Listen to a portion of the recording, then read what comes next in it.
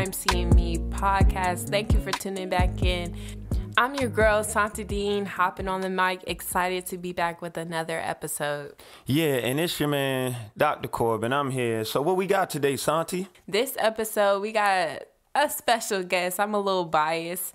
Our special guest today is going to be a youth speaker. At YMC, we center our work on youth power, so this episode will feature a youth expert.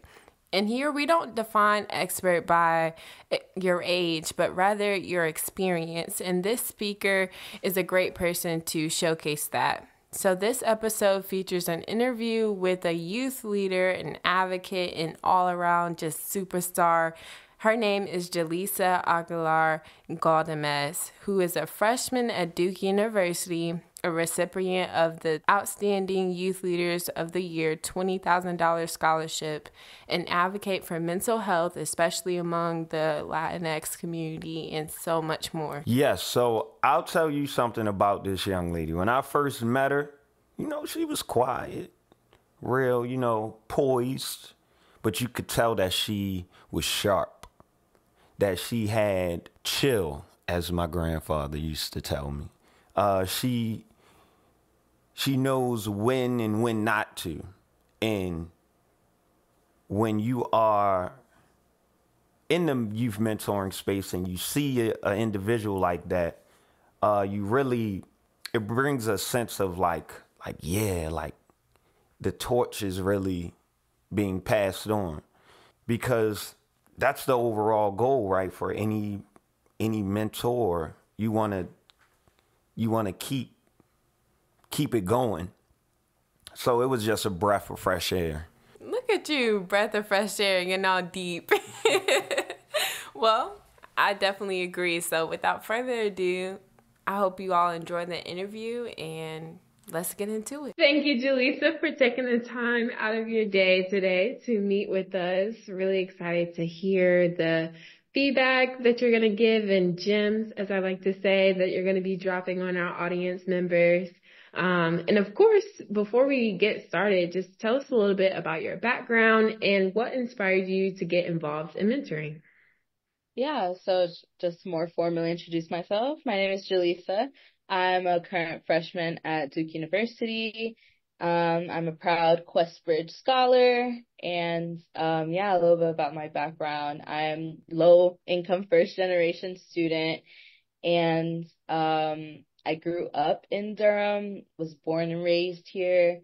So, um, I, uh, I've always been in the, um, Durham public school system. And, um, I think that's what mainly, um, inspired my role in working with mentoring is that I saw um, kind of how underfunded the um, school system was, and I knew that um, there needed to be some support within that system. So um, yeah, that kind of is what set me on my path. And then amongst that, like I just had amazing mentors myself, and I knew that it was something that I was always interested in doing. So um, I started a small little mentoring um, club at my school in high school. And um, ever since, it's kind of just been a journey with Youth Mentoring Collaborative, and yeah, going going with the flow. Julissa, what mentoring organizations are you a part of, and how have these organizations impacted your life? Yeah, so um, I'll start with I'll kind of go like in chronological order of the organizations I've been a part of. But first was definitely um, the Emily K Center. I was part of their Scholars to College program.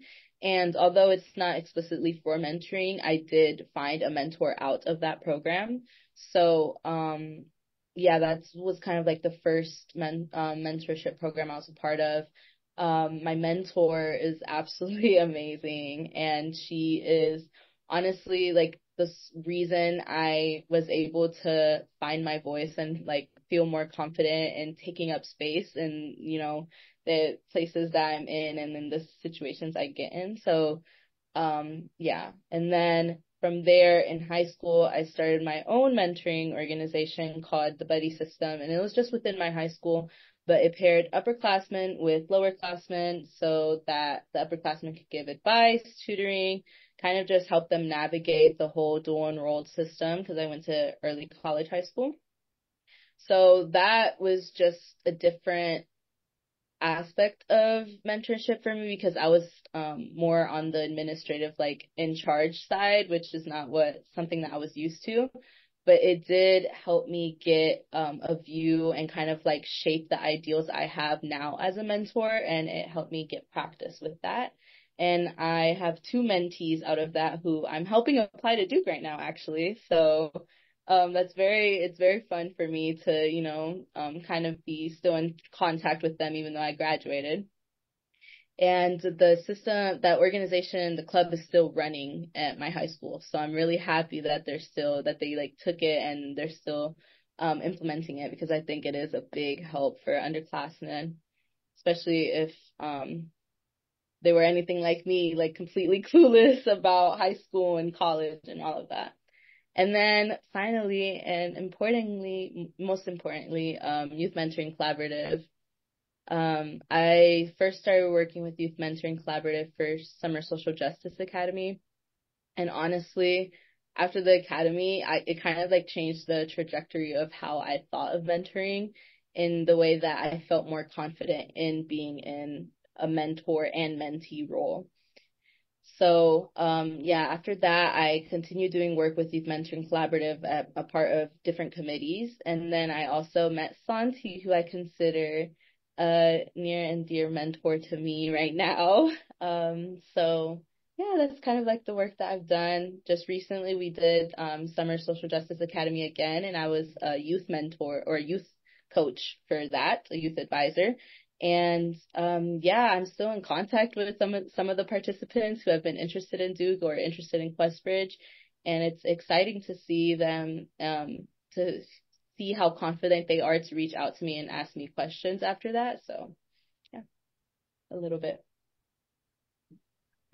So yeah, and you're really leading the conversation. I mean, you've already talked about your leadership experience and um, I'm not sure if you've already mentioned uh, this part of it, but just from me knowing you over the past couple of years, um, and like your passions, um, we wanted to ask you a couple questions about um, your perspective on the LGBTQ plus and gender identity community and how that shows up with you working with youth and in in the mentoring space.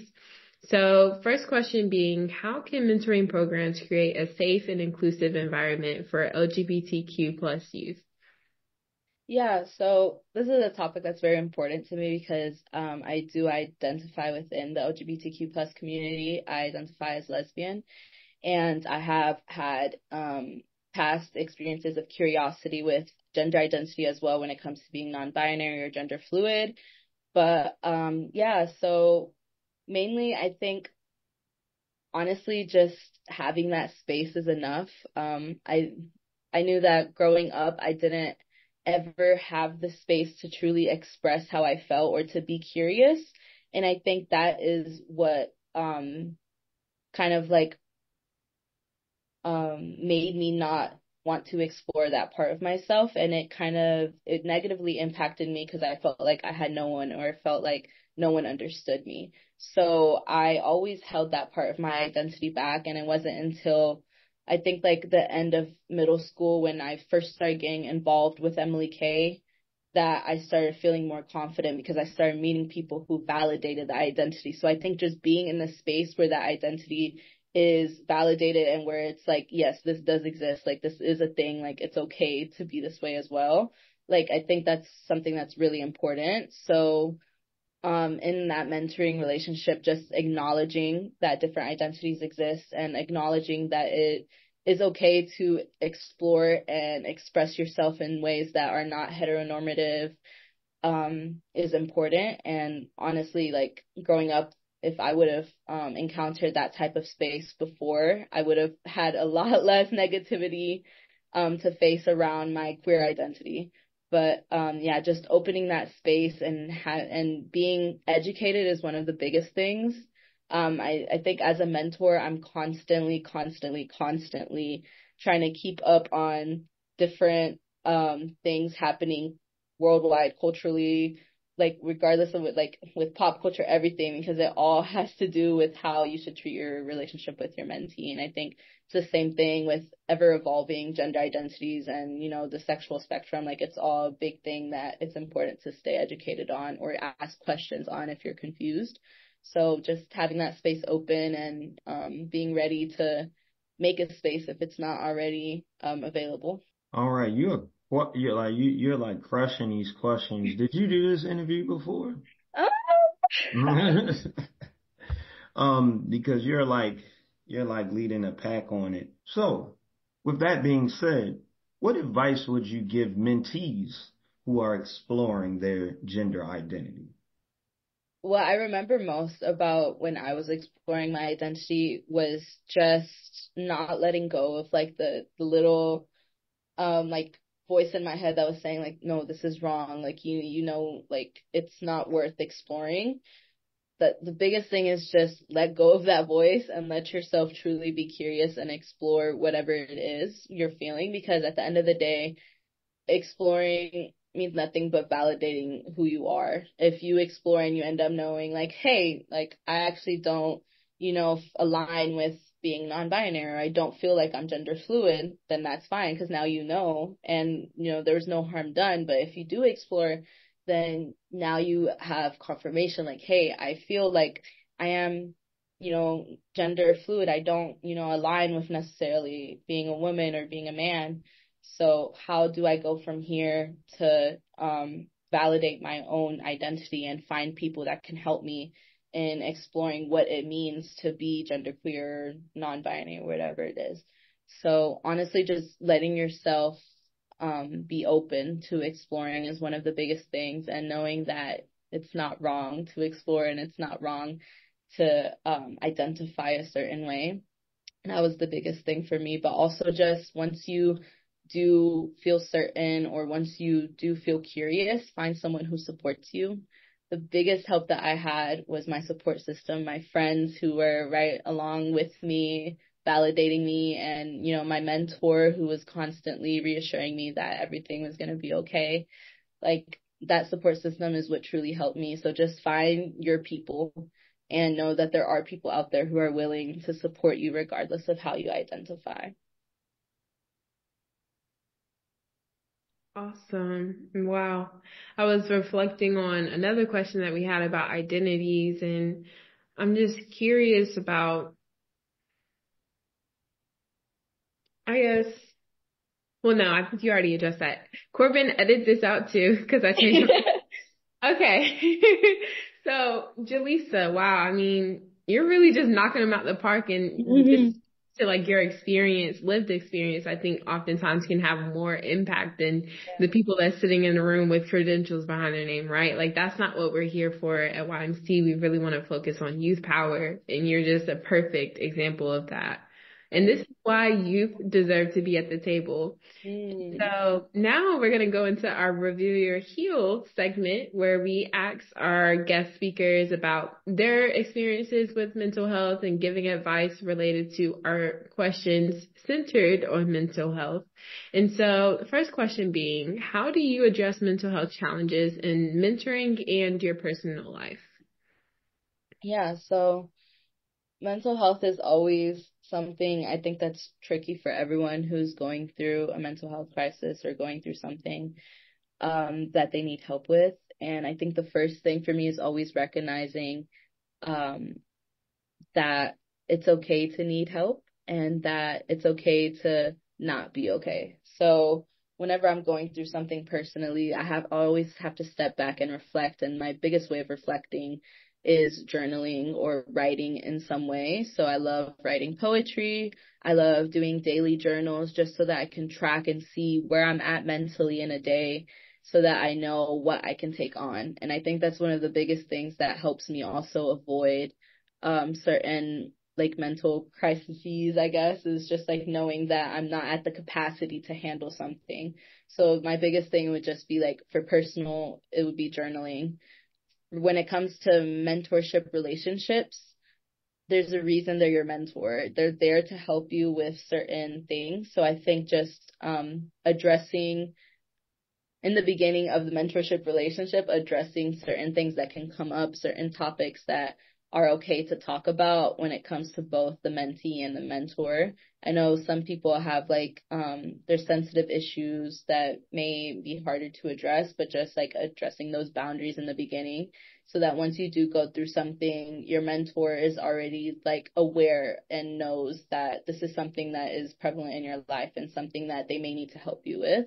So um I know my mentor, she um I've told her a lot about how I have struggled with anxiety throughout the years, especially when it comes to um social situations. So whenever like I tell her like hey, like I'm about to go into a big crowd or I'm about to do some public speaking thing or a presentation, she knows exactly what it is like I need to hear, which is just like words of affirmation. Sometimes it's just I need someone there to listen to me vent about how nervous I am. So yeah, just um knowing that your mentor is there to support you is a big thing. And for mentees, knowing and being and recognizing that your mentor is also a human being. So, you know, just give them the grace of, um, you know, taking a second if they need it while answering questions. But, um, yeah, those are like my biggest things. I'm always like the biggest advocate for just like some form of creative expression, whether it's like art, poetry, reading, writing, just like anything that helps you like get the frustration or get the anxiety out. Like I love anything and that related to that. Is there like a specific like story that you can recall in your journey with mental health that you would feel comfortable sharing? Like specifically where when you look back, you're like, oh, it was because of mental health awareness and utilizing it to to get you know to to to feel better about the the situation? I could speak a little bit on uh well something i'm very passionate about is or something that also got me into wanting to work in psychology is my own struggles with mental health when it comes to like cultural competency and kind of how when i first reached out for help and for therapy i didn't know what I was doing at all and like the therapist that I got wasn't really aware of like the cultural like significance of mental health in Hispanic culture. So I can talk a little bit about that and how that kind of like showed me about the importance of cultural competency. Yeah. That also relates to mentoring because I can cross the two together. I would say like the reason I wanted to start working in psychology and kind of like my biggest like I would say it's like a aha moment when it come when it came to like mental health and mental health awareness was when I first started um receiving help for or when I first reached out for help. Um I got put with a therapist who didn't understand the um I guess like the relationship between mental health and like the Hispanic culture and they their that cultural competence wasn't there and I feel like that kind of set me on my journey when it comes to mentoring and when it comes to psychology. It's just that um, already black and brown youth face so many disparities in um, the educational system, in healthcare system, in a lot of our institutions. And um, now mental health um, care is one of those systems that is a disparity because of the lack of cultural competence and the lack of understanding of um, certain viewpoints where these youth are coming from. And I think that was a big thing for me as a queer Hispanic woman. I felt like I wasn't being truly seen um, in that um, in my relationship with my therapist. So I had to learn how to advocate for myself and, you know, know that I had to get out of that relationship because it wasn't beneficial. And already it was hard enough navigating um, needing help and being in a situation where I can't handle things alone. Now, on top of that, I had to um tell my therapist like, "Hey, this isn't working out. Like I need to find someone else to go to." And the person that helped me the most was my mentor in this situation. Um, I think that's the biggest importance of black and brown youth being in mentorship relationships is that they have that help that they need to navigate that you know, complicated outside world. And that's something that I hadn't had growing up. And that before, previous to my mentoring relationship, I was not confident in speaking up for myself and I was not confident in, you know, even reaching out for help. It was not something that I wanted to do or felt like I had, you know, the courage to do. So, um, yeah, just, I think it's very important for Black and Brown youth to be in these mentoring relationships because they have access to that help and also it's important for mentors to be um, not necessarily similar background, but just aware of the complexity of culture, language, race, ethnicity, gender identity in um, and how it relates to the way society is now and the way youth are growing up. It's very important to be understanding of those things. So, um, yeah, that kind of is the story of what set me on my journey with psychology. And now I'm still interested in working with Black and Brown youth and um, making sure that I can help bridge the gap of those disparities so that mental health resources and therapy and whatever it is is more accessible and equitable amongst the Hispanic and the Black community. That is awesome. You know, mentoring, that, that really speaks to the cycle of mentoring. Like you were mentored and you were able to receive resources and gaps that you didn't have that you wouldn't have have uh, you wouldn't have had otherwise. And now you're you know paying that forward by mentoring other people. And you spoke about like, various identities and how um, you were navigating your identities in different spaces and how sometimes it was challenging for you. And i'm curious speaking to your various identities what are some resources? And when i say resources i mean tangible resources, mental health resources that you think young people like yourself could benefit from? Ooh, that's a good question. Um, so, okay, I'm gonna try to speak on some specific to Durham, but also just more like kind of like social media or kind of just like organizations globally, so you know everyone can reach it.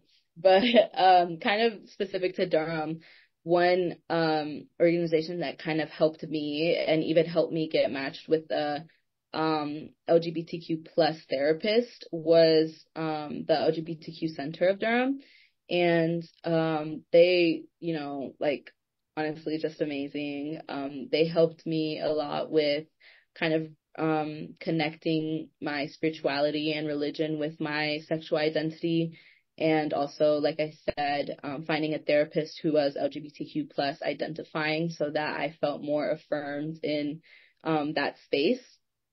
So they helped me. And then I would also say the Emily K Center, of course, is an amazing, tremendous help for um, Black and Brown um, youth in Durham who are on um, on a path to achieving higher education. Um, they helped me when it comes to my first generation identity, I had no clue what I was doing for college. Like I literally, I didn't know what FAFSA was. I didn't know what Common App was. Like I didn't know any of these things. But thanks to the Emily K Center, I had the resources I needed, um, to know what these things are, be like ready to take on the Common App and the personal essays and the supplementals and scholarships. And I had that support. And of course I found my mentor there. And um, more kind of like global initiatives I can think of are like um, more well-known organizations. Um, the Trevor Project or the Trevor Foundation, they do amazing work with LGBTQ and trans identifying youth and um, finding resources for um, gender affirming care, but also just um, you know, like validating the experiences, the lived experiences of these youth and advocating for policy that protects LGBTQ and trans identities. So, um, yeah, that's something to look into. Um, oh, more specific to Durham, El Futuro does a lot of amazing um, therapy with Hispanic um, um, Hispanic people, and I think that's like the importance of cultural competent care is that at El Futuro you can find um, Hispanic therapists for um, the Hispanic community out there, and um, oh my goodness, yeah, that those are like the main resources I can think of, but also I'm a big like advocate of community. Like community is my biggest resource. I think um everywhere I go, I make a little community and based on what I need help with, that community is what I go to. So, for example, with Youth Mentoring Collaborative, I think a lot of the leadership and social justice questions that I have or the initiatives that I want to take on, you guys are my little community. and yeah, it's amazing. That's amazing. Um, and then um, when I think of like at my school, like I have a little community of other like first generation low income students that can we can help support each other. And even in my church, um, having a more like progressive but spiritual community is also what has helped me grow a lot in my identities and feel secure. So yeah, just finding a little community everywhere you go. Man, you got all the communities, man. Yeah, I, I got all of them.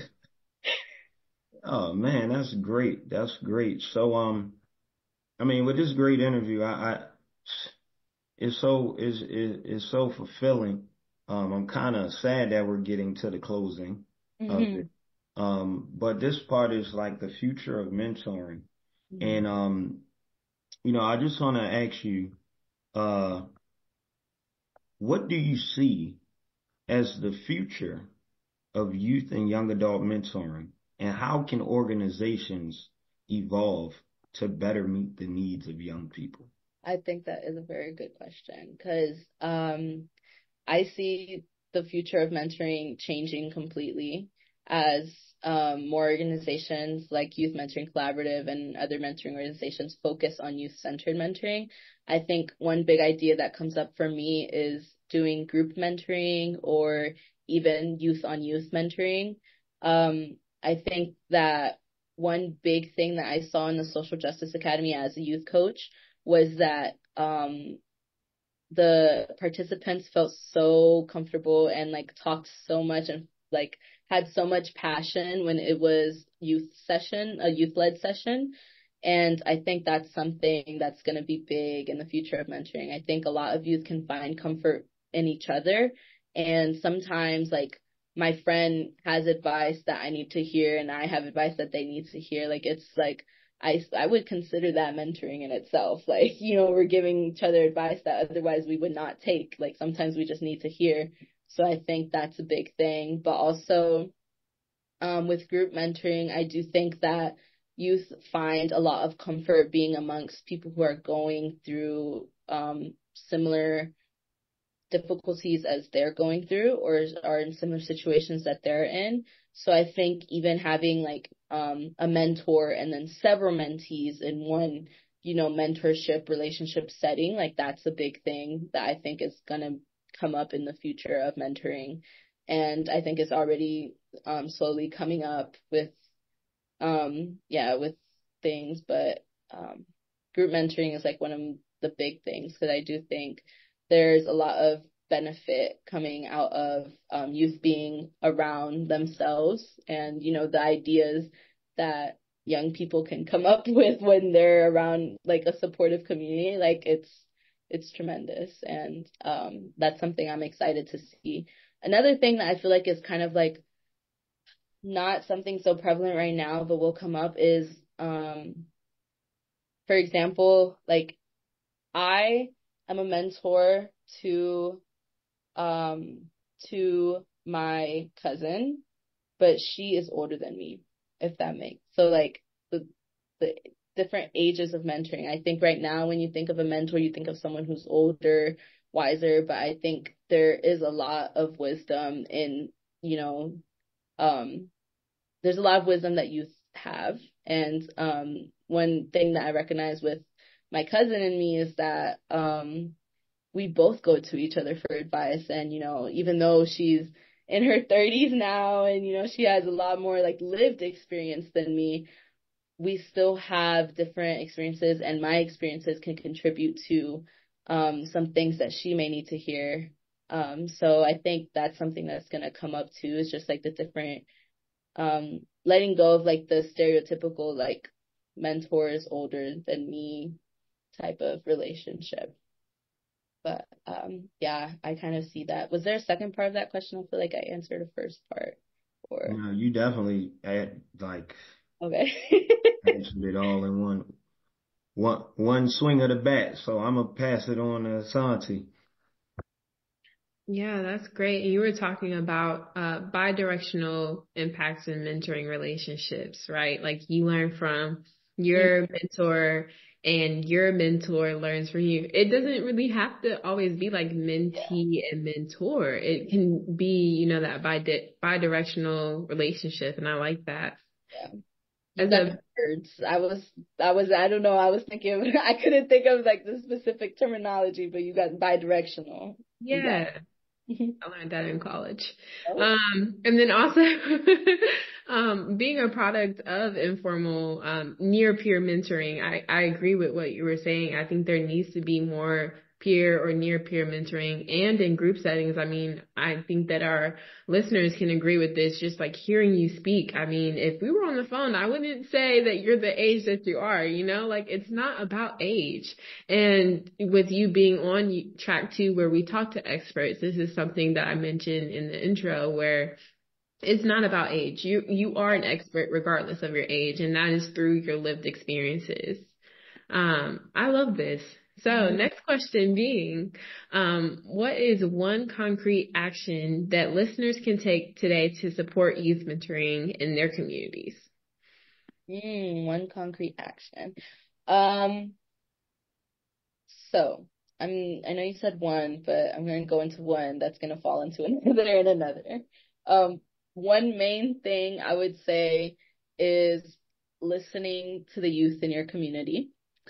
Um, I think that by listening to them, you can recognize um, how important mentoring organizations are.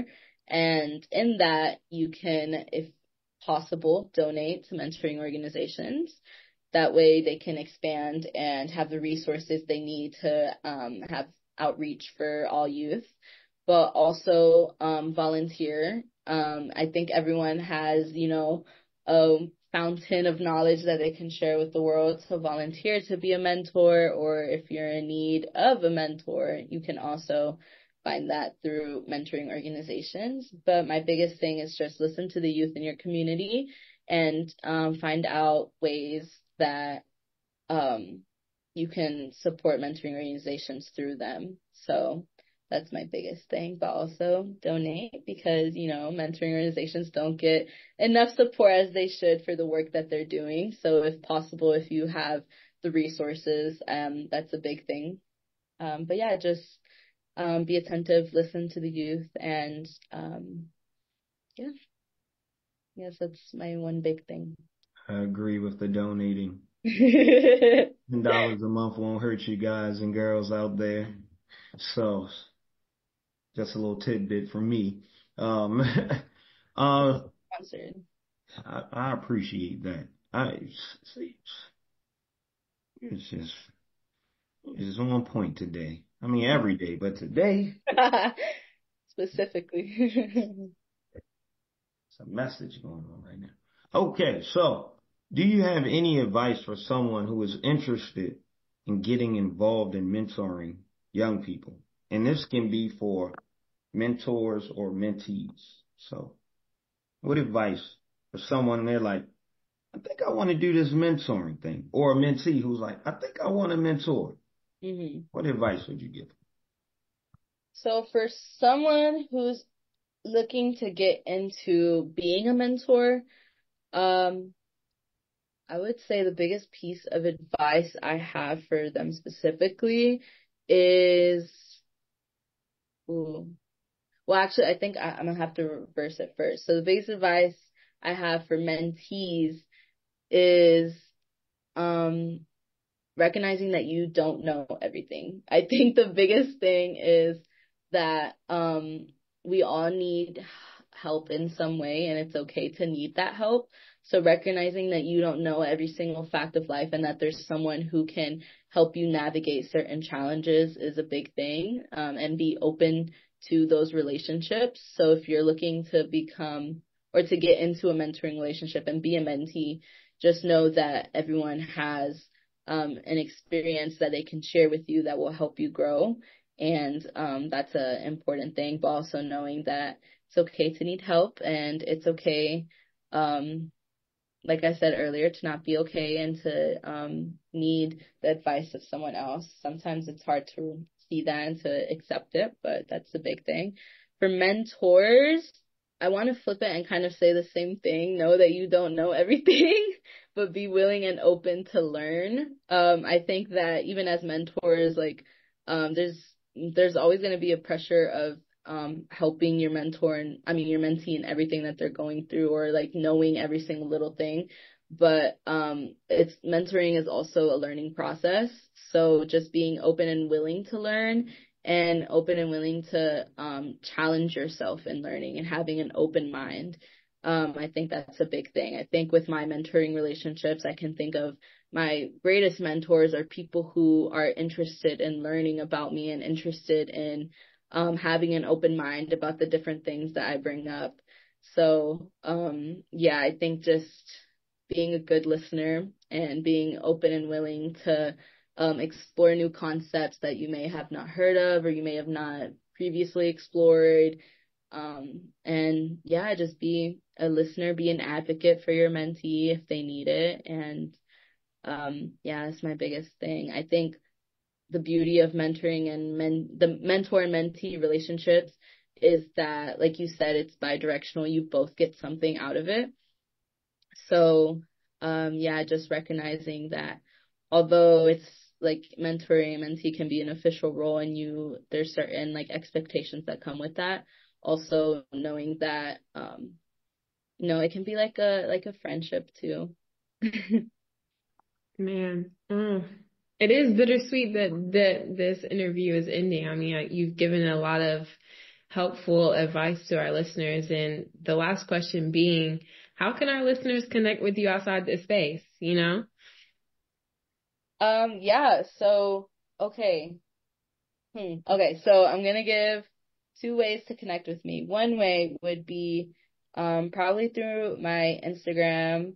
I do post, um, occasionally a lot of things about mentoring on my Instagram. I repost all of the YMC things. So you can catch a lot of information on there, but it's going to be, um, J-U-L-I-S-S-A dot ag6 that's my instagram. Feel free to dm me in need of any questions or if you want to know resources around durham. I'm very well versed in that considering i grew up here and now i have another four years here. And then um um more kind of like professionally i guess or like um more you can reach me through my email my duke email so that's ja421 at duke.edu um, I usually check that email every single day. My Instagram, I don't check as often because I'm studious right now, guys. Very studious. So probably email me. But I also did just want to leave um, a piece of, or I don't know if you guys have a section of leading a piece of advice, but we can edit this part out. I'm gonna leave my piece of advice. Um, one thing that was recently told to me that I feel like we always need to hear every day in our lives is take up space. Um, honestly, like as little and I feel like as often as we hear it, I always forget to take up space and I always forget that I'm worthy of taking up space and that my opinions and my expressions, like they're as valuable as anyone else in the room. So just take up that space. You belong wherever you are. There's a reason you're there. Um, and another thing that I learned through Youth Mentoring Collaborative from a speaker during Summer Social Justice is honor your agency. You are an amazing human being. And, you know, if you're here listening to this podcast, then there's a question that you have or something you're trying to learn. So if there's one thing you take out of it is honor your agency, listen to the young kids around you. If you are a young kid, be open and willing to explore and know that you belong in any space that you're in. And yeah, I'm going to leave it at that. Now I have a question for you. Oh, okay. What's up with this Duke basketball game, man? I'm trying to make one of them. Just one. I don't need, I don't, I don't want to be, I look, I don't even want to go to a Tar Heel one. Like, cause I already know that's hot, that's hot. Ooh hot topic. I, look, I'm gracious when they playing like a little D2 school from like uh, Ohio somewhere. Like I'm okay. I just want to be in the arena. That's our it. team this year, our team. Oh, Santi, I'm so sorry, but our team this year, like, oh, there's no, like, we have so many good players. So many good players. Like, we're gonna be undefeated. I'm so sorry, Santi. Undefeated. Uh, undefeated. Listen, I mean, undefeated. early in the season, so you can have, you know, that optimism because I love that for you. That's all it is, is optimism. What did I say about listening to your youth? I'm gonna send you some videos from Franklin Street so you can see. I just want to be in there. Yeah, that's it. So I'll get you in for it. Look, I I talk to everyone on campus, all the all the bus drivers, all the staff, all the administrators. I'm I'm I'm cool with everyone. You know, another person I'm cool with because of Emily K. He may not know me, but I know him. Is Coach K. He'll get us in. Okay, see. Oh yeah, get us in. Hit up Coach K. Especially if you know how to say VIP his experience. right. Mm-hmm. VIP experience. she know me. I know her. We know each other. I'm dying. we want to hear from you. If you are interested in being on the YMC Me podcast, visit our website and email us at info at youthmentoringcollaborative.org. Whoa, be yourself, king. Be yourself. Be yourself, queen. Be yourself. Be yourself, king. Be yourself. Be yourself, queen. Be yourself.